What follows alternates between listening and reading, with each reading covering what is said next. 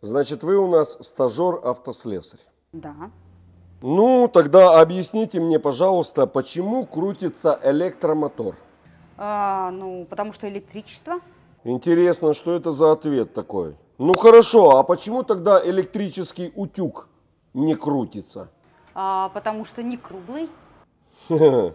Ну хорошо. А электроплитка круглая?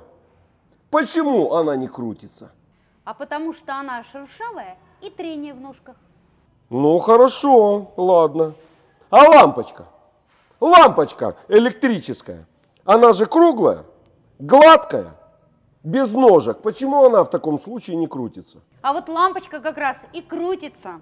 Вы ведь ее, когда в патроне меняете, крутите? Да, в самом деле крутится.